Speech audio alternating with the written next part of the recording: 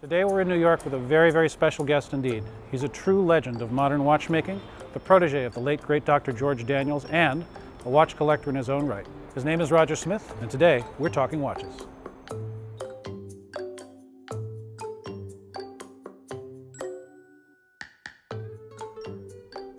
Roger, thank you so much for joining us today. Just fantastic to have you on Talking Watches. Just to jump right into it, one of the most interesting pieces that we have here is a very, very, very early coaxial pocket watch movement. So if you could tell us a little bit about that, that'd be great. Certainly. So this, this pocket watch movement was part of a collaboration which was struck up between George and Patek Philippe back in the early 1980s.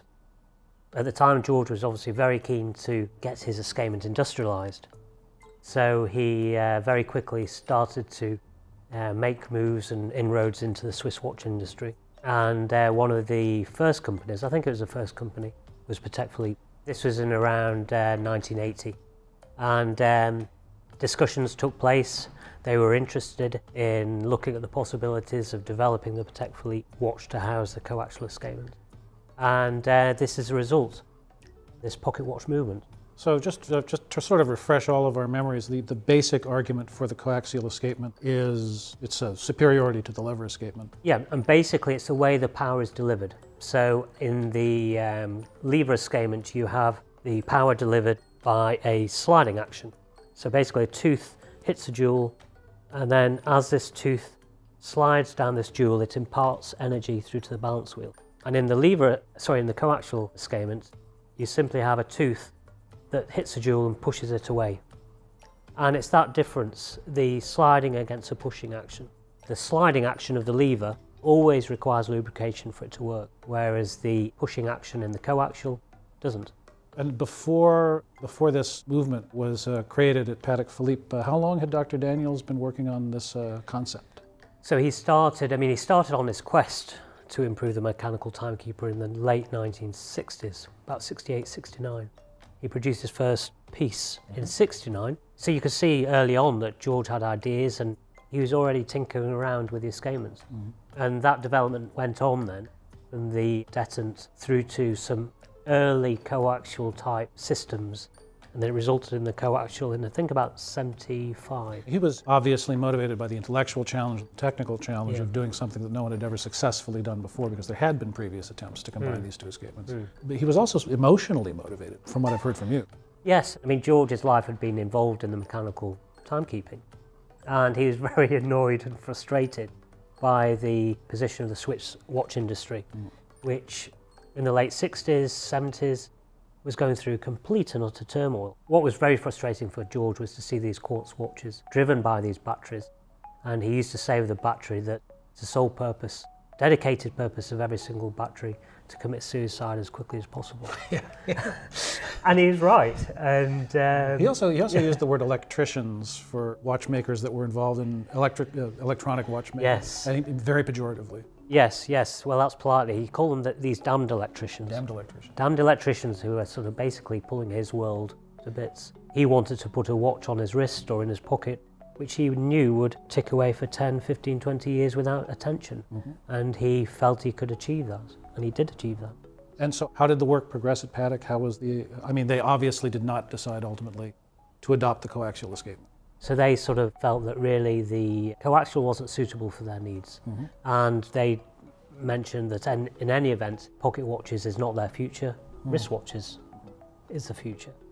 So the one thing you didn't do with George was challenge him. So he immediately got into watches and he started to um, redesign the escapement to fit into a wristwatch. And he achieved it. And he wore that wristwatch for 10 years, I think. He never ever said it lost time or anything. You know, he's a perfect runner. Um, but it wasn't enough to convince Patek that this was a way forward. And we have uh, a couple of wristwatches which are early wristwatch prototypes for uh, the coaxial escapement. That's right. So Omega became interested in the coaxial, and George started working with Omega in 19, I think it's about 94.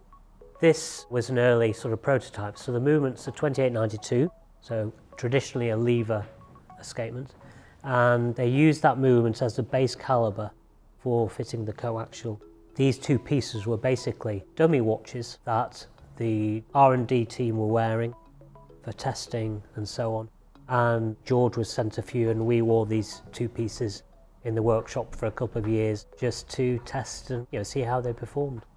And even after the first limited editions came out in 1999, the escapement did continue to uh, have some teething issues. Yes, yes. I noticed that early on actually in the process. I went to work with George to help build the Millennium series of wristwatches. And we were building these first few pieces and we always used to set the escapement into the mechanism and then feed the escapement through. So basically just rolling the balance back and forth and watching every single tooth.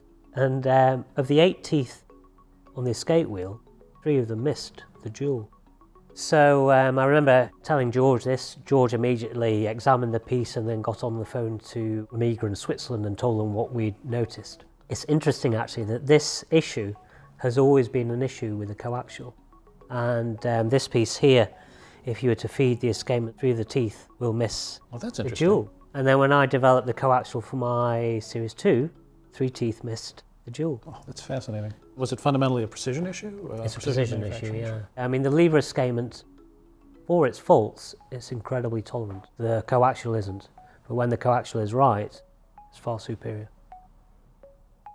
One of the things that uh, is uh, sort of notably absent from this group of watches is one of your own. Speaking yes. of uh, you know more current evolution of the coaxial yes. escapement, and uh, the, I think the issue, as you've expressed it, you make a very small number, and they, they sort of have to go away from home and start working for a living pretty early on. Yeah, yeah, yeah, yeah, exactly. I mean, it's we're making ten a year. We have a really good order book. I've never been able to take a tenth of the year out to make a watch for myself. Really, we've just got to try and make the watches for the clients, and yeah. I don't mind that. You know, I mean, my focus has always been the watches. I get to test each watch before it's delivered. And I'm always looking for um, improvements. You know, I'm very sort of technically minded, and all these watches here, they're all here because of their mechanics. This was George's Mark 11 Jaeger. Stainless steel case is made in 1948. The Mark 11s sort of came about, they were obviously built during the war, and they were built for precision. Very nice movement inside, super accurate. It has an iron back cover, which protects the mechanism from magnetism. So these, you know, these were real state-of-the-art pieces when they were made. And, you know, the watch still keeps excellent time and it's a, a brilliant mechanical watch. Well, in terms of precision timekeeping, we have something else here that you brought, and I haven't seen one of these in person in a long, long time. Yes. And, uh, I'm just, just tickled pink to see it here today. this piece is um, it's an Omega marine chronometer, and uh, this piece was made in 1976. This was the Swiss watch industry in turmoil. You know, they've been throwing out all their mechanical watchmaking equipment, knowledge, and so on, and they were desperate to reinvent themselves. The quartz market was booming, and they were seriously under threat. So basically, a group of makers got together. They all piled huge sums of money into this program to develop a super accurate quartz watch. And this is a result. At the time, this watch was the world's most accurate quartz watch. Mm-hmm has an accuracy of uh, 12 seconds per year, but the battery only lasts for 10 months. well, a, a, part of the issue is the accuracy was uh, achieved with a very high frequency oscillator, correct? That's right. So the oscillator vibrates, I mean, it's just staggering. It, it's just slightly short of two and a half million times per second. As opposed to a standard quartz oscillator, which is about 32,000? Yes, yes, you're right. Yeah. I mean, it's, it's a staggering it's achievement. I mean, this, this was super technology. This was groundbreaking technology at the time. And uh, in the in the group of watches that you've brought that are uh, that are yours personally, we have another one that I think people will be quite interested to see, mm. which is this uh, this beautiful Speedmaster. Yes, yes. So this is an Ed White. Again, the main interest for me with this watch is a mechanism, and the Caliber 321 is a world-class chronograph movement. And just the way it's been designed, you can tell that the people who designed that movement were watchmakers. They really understood what they were doing, and they designed a bulletproof mechanism so this watch was made in 65 and still goes strong today. No wear in the mechanism, it's in perfect condition, you know, a service and it's back to life again. And you know, it's, it's, it's interesting. So very few watch collectors nowadays are sort of aware of what it is that makes one movement qualitatively better than another. And yeah. you know, you you read praise of the Caliber 321, but what aspects of it do you think um, make it such an elevated movement? Well, I mean, years ago I used to do trade repairs when I was funding my watchmaking.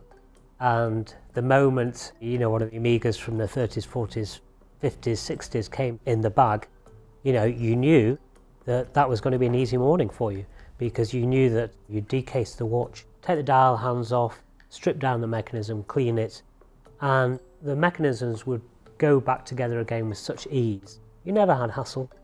And the reason for that is just because the mechanisms are so well designed.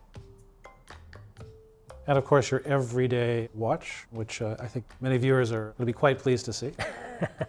my wife bought me this for my 40th. It was actually a second-hand piece when I got it. I think it's about 13 years old now, 14 years old now. I always liked Rolex. The very first watch that I ever bought was a Rolex, is a manual wind oyster date. And I bought that when I was, I think about 17, which was quite a young age to own a Rolex.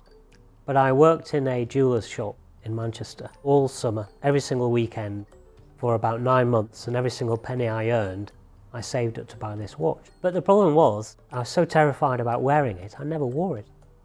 I used to wear it very occasionally, probably on about two or three occasions. And then when I got into the watchmaking side, when I was trying to make my very first watch, I ran out of money and had to sell the watch. Oh. So this watch sort of, in, you know, really replaces that. Yeah, it takes a little bit of the salt out of exactly. the wound. Yeah, yeah. Exactly. I mean, with with Rolex, the you know the impression that you get when you look at the exterior of a Rolex is of a very high precision in manufacturing, but with, uh, with without anything you know really extraneous. And that's I think the thing that Rolex is probably most known for on the outside. But again, do you feel that Rolex deserves the respect that uh, some of us have for it in terms of the quality of manufacturing of the of the engine itself? Yeah, without a doubt. What I see as an asset is that they have never really changed their movements. They've upgraded them. Mm-hmm. I think you'll know probably more than me that the, the, mechanism in this is probably about 30 odd years old. Mm-hmm. And why change a good thing? Why reinvent it? Yeah. You know, people used to say to me with the Series 2, oh, when are you going to stop it? When are you going to make a new movement? And I always used to say, and still say to this day, well, I designed what I consider to be a good movement. And they've got a great watch, a great product, and I wear this watch every day. If I'm going for dinner, wear it at work, wear it in the garden, fixing the car. You know, it's a great all-rounder. Roger, tell us a little bit about what you're working on uh, currently. What's going on in the workshop? Well, just to go back a couple of years, in 2015 I launched a new range of watches, all built around a Mark II movement that I've designed. The Mark II movement came about as a result of development of the coaxial escapement. Back in 2010 I came up with the idea for a single wheel coaxial escapement, which improves the accuracy. Since then I refined the escapement, I created a lightweight version, and now with this Mark II I've reduced the scale of the escapement and by reducing the scale, it's improved the performance of the watch hugely. So, so when, when uh, uh, the name coaxial escapement comes from the fact that there are two escape wheels mounted coaxially, one on top of the other. That's right. And uh, the newer version that you're working with, when you say single escape wheel, it's still two levels, but it's made as one piece. That's correct. Yeah. Yes. Yeah, and that just guarantees perfect concentricity between these two sets of teeth to their pivot point and then also the correct angular orientation, which is very important in this escapement. And you're not missing, uh, you're not missing three teeth anymore. I'm not. Yeah, that's fantastic. It's great. Yeah.